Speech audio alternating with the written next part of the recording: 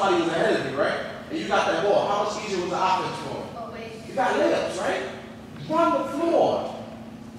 Ready?